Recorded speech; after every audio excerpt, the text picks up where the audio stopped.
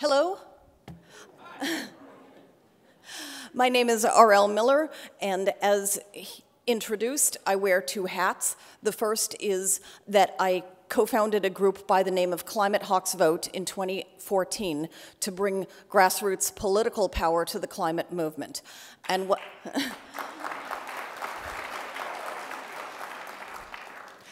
what that means in plain terms is that I try to get people elected.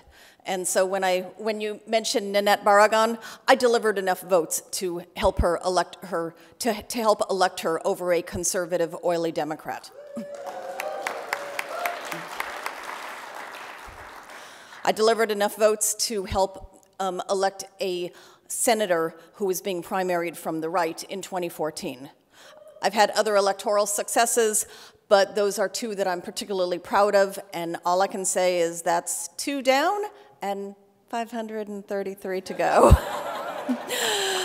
plus the presidency, plus all the state houses, plus all the local offices, plus, okay, I don't actually have any power whatsoever. but people think that I do. And I want to talk about building political power because what you talked about is sort of a raw example of what happens when some of you go in and talk to these hardcore denier folks. I've been in their offices two minutes after you and people like you, and they take your carefully pre prepared fact sheets and they file them in the round file right away. I'm sorry. um, but what they do respect, and you guys have come a long way, and I want to say I really like talking to you because for the most part, you are extremely intelligent, motivated, um, and ready to act, and I'm you know, I think that you guys are doing great work at convincing people that your policies are intelligent. But I wear that other hat where I talk about politics, and so I need to say that you will not be listened to enough unless you bring political power to your meetings. What is political power?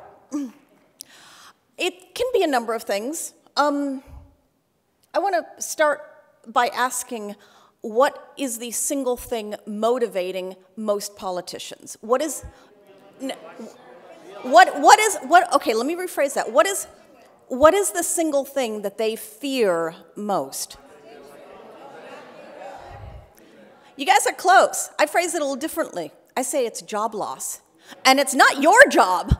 And it's not your job, it's their own. And that's why the Tea Party was so successful in 2010, be not because they were loud and obnoxious and well funded, but because they actually caused some Republicans to lose. If you can get to the point where you cause a Democrat to lose, you will be feared. Okay? So, bringing money is a, bringing money um, and letting people know that there is money behind you and that you donate a lot of money is one of the ways that you show political power. Another one is by releasing a poll, a poll showing that your ideas have substantial support. And you guys know the polling numbers just like I do that basically say that solar is like mom and wind is like apple pie, right? um, Another way you, sh you, show up with political power is by holding on to a sufficiently large number of petition signatures in your district. Okay, so if I, I, I was in Dianne Feinstein's office on um, Tuesday meeting with her staffers. Her staffers were interested to hear that I had 8,000 signatures on a petition to block Rex Tillerson. Um, oh, by the way, how many Anybody here gone to a march in the last week? Okay, keep your hand up if you've gone to two marches. Keep your hand up if you've gone to three. I was at the inauguration march um, in downtown LA. I did a women's march and I led a move on thing in front of DiFi's office on um, Tuesday. And tomorrow I will be in Pasadena with a march um, regarding defunding the Dakota Access Pipeline. And I should do the obligatory social media plug. It's Climate Hawks, as in the birds, vote. Um, if you want to go like us on Facebook. But I will tell you right now, contrary to the, what the nice person said this morning, that if you're serious about politics, get on Twitter, not Facebook. Twitter is what elected our, that, that thing we have. okay. Um, I, I want to I wanna talk uh, specifically about the lay of the land in California, because you guys are going to be doing a lot of work in California. And I'm going to start with what I tell the national groups, which is you guys think of California as this beacon of hope and light, which it is, yes. but the simple fact is that if our bills don't pass muster with persons of color, they don't pass. Period. Full stop. And so I look at this room, and this room is very white. And I looked at the way that you guys had one table set up for environmental justice. And by the way, I think I told you that I, maybe I didn't tell you, I titled this speech Hard Truths. If I haven't annoyed you, I'm not doing it right. um, please find your allies within the environmental justice movement and within the broader social justice movement. Right now, there's a protest going on at Los Angeles International Airport, and I really wish I could be there because I haven't done enough protests this week. um, it's against the Muslim ban, by the way. Um, yeah, can we get some applause? Can we get a shout out for the against the Muslim ban? Yes, thank you. Hello. Yes. okay, that's better. yeah, um, okay, back to California. Um, we have, as I say, we have managed to achieve what Washington State could not, which is a decent working relationship between the uh, persons of color who don't necessarily care about climate justice, but they really care a lot about justice for their communities, and the environmental people. And I'm going to talk occasionally somewhat disdainfully about the white coastal elites um, and the white coastal congressional districts in California. And I'm going to tell you guys that basically we have, when it comes to climate in California, we have three parties, not two. Did you know that? Yeah. Um, we have one third or so is, a, is Republicans. They are flat out Republicans. They advertise as endorsed by the National Republican Party. They are elephants, whatever. We have another roughly one third, maybe a little bit more, who are real Democrats. They are they have a D after their name and they vote Democratic and they push Democratic climate policies. Then we have another group that is called the moderate Democrats. They have D's after their names. You cannot tell them easily apart from the real Democrats. But when I say moderate Democrats, these are the people who killed the petroleum reduction section of SB 350 in 2015. Okay? My job in California is to drive them out of the party. okay.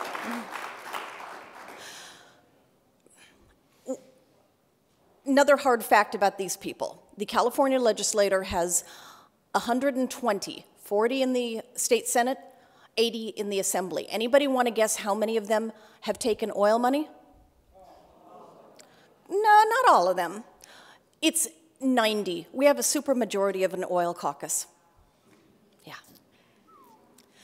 More in the way of hard facts, our assembly, thanks to the way the term limit law worked, our assembly members are not going anywhere until 2024.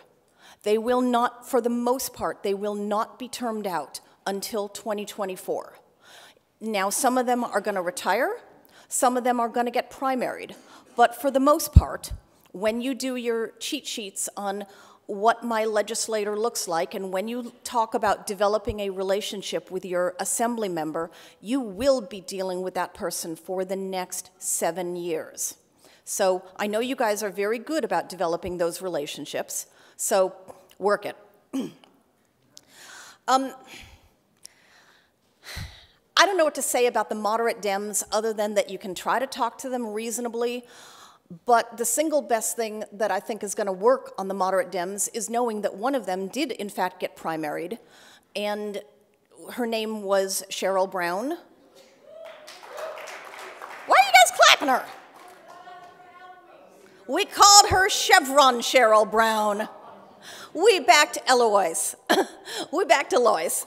We backed her. I donated money to her. I talked about her all the time. I did everything I could to skirt the California Democratic Party's law that I'm not supposed to um, back anybody other than the endorsed Democrat because Brown got the party endorsement. I did what I could, um, and ultimately Eloise did prevail. And I want all of you guys to keep that in the back of your mind because the ultimate threat to a Democrat who's not voting your right, the right way is to mount a credible primary challenge. Okay? Um, this is harder than writing letters to the editor.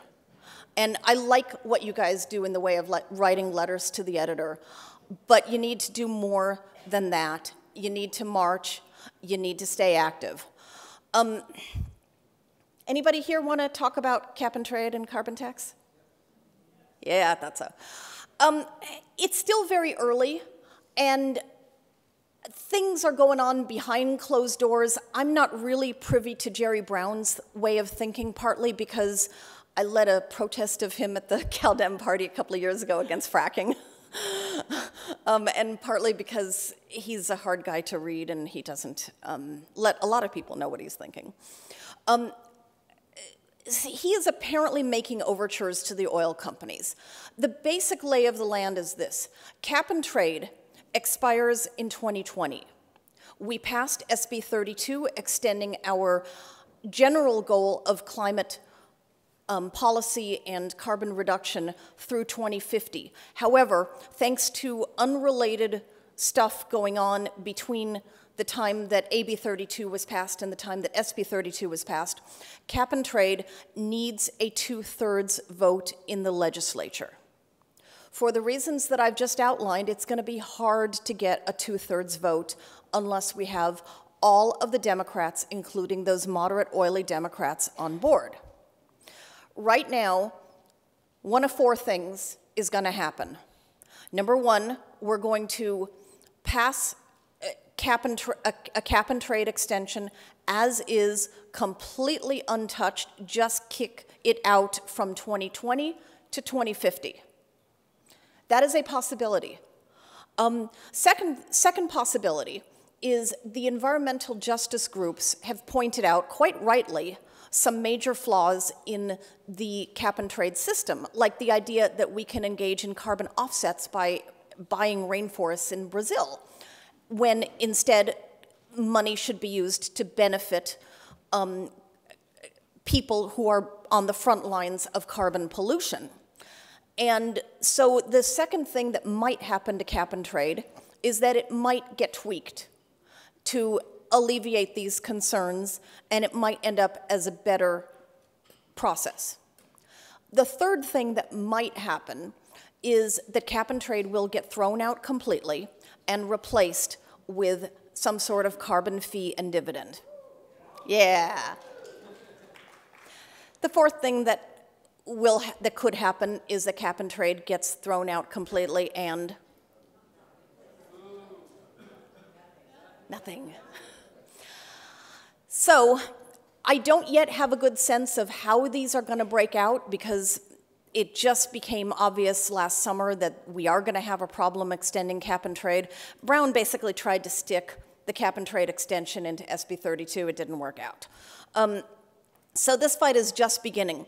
I will say this, that if you will be talking with or meeting any of the governor positions, the who's going to replace Brown is going to be the hottest political topic in California.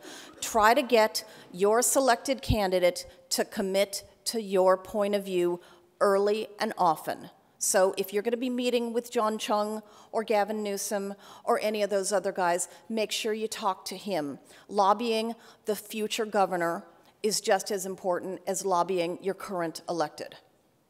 Okay? Um, have I run out of time yet? okay.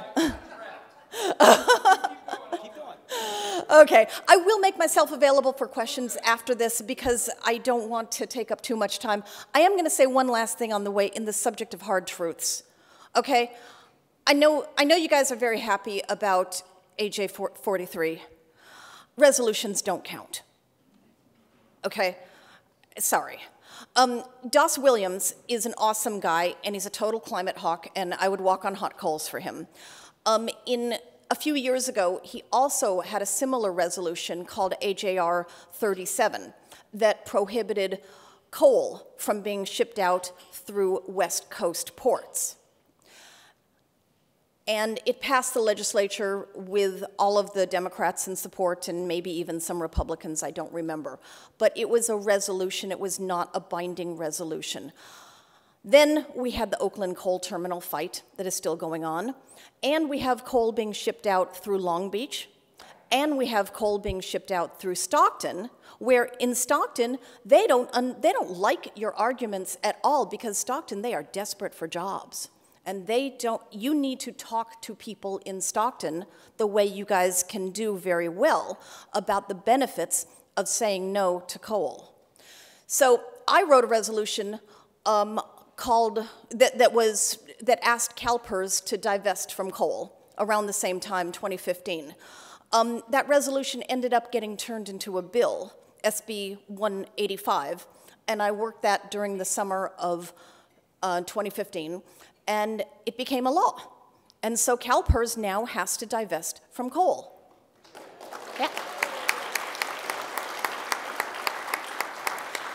And I'm doing this because I want to emphasize that resolutions, I, I, know, you, I know you guys, your intents are good, but hard truths resolutions do not have the power that laws do.